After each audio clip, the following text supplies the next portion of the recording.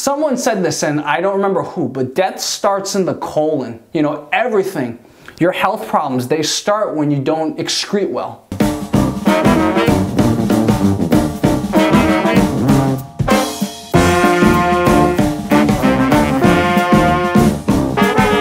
I kind of explained this last time, but I want to go more into detail.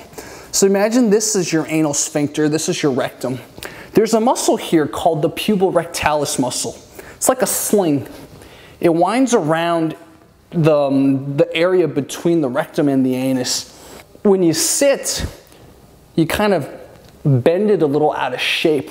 And so what the Lillipad and what the step and go try to do is they try to line it more so instead of being pinched like this when you try to poop, it's more lined.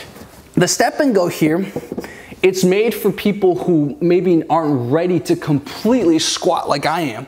So what you do is you sit and then you put your foot here. It's kind of like last time I showed you with the Lillipad how you can put your feet up here. It's kind of the same principle. The one difference I see between these two products is that the step and go it's slightly lower and it curves down. There's a there's an angle downward here, which I guess makes it easier for some people. They their feet naturally want to be rested a little downward. Another thing you'll also notice is that the step and go is slightly wider than the footstool part of the Lillipad.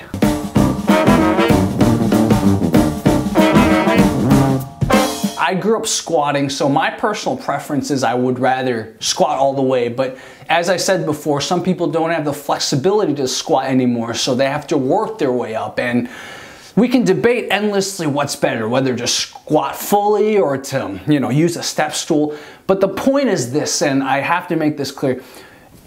Definitely don't just sit on the toilet. It's really bad for you. So whatever you do, you want to get your knees above your pelvic region. That's the key. Try to get a toilet that's as low as possible. And most importantly, get a step stool in addition.